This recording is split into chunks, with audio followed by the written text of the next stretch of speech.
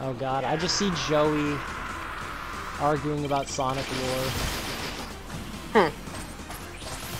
Oh god, he's gone full Cyber Shell. Look, I fucking hate those interviews. I Sometimes- really.